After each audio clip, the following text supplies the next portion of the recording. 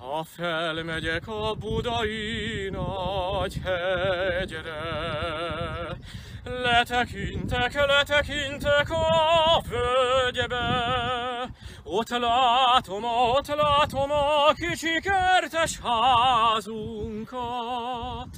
Édesanyám szedi a virágokat. Addig megyek, míg a szememre látok, míg egy sűrű erdőre nem találok. Sűrű erdő közepében van egy magas kaszárnya, abba leszek kis angyalom bezárva.